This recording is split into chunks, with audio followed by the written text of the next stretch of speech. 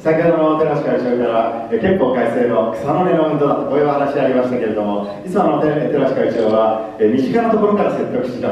奥さんからまず説得しろそういうことをおっしゃられますうちの方はちゃんと説得してありますので皆さんもぜひお願いしたいと思いますあの6月12日迎えます。そしてその後大きなまたダイナミズムが生まれるかもしれません。それにしっかりみんなで対処していきたいと思います。どうぞよろしくお願いいたします。